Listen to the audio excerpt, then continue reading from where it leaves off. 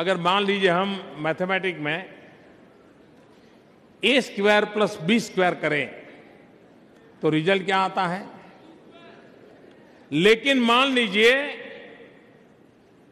A plus B into square into bracket square करे तो A plus B into bracket square करे तो तो रिज़ल्ट आता है A square plus two A B plus B square ये extra extra two A B मिलता है कि नहीं मिलता है?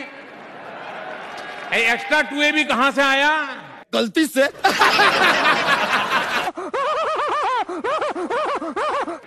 तो भारत और कनाडा जब मिलता है तो एक्स्ट्रा टू ए बी निकलता है।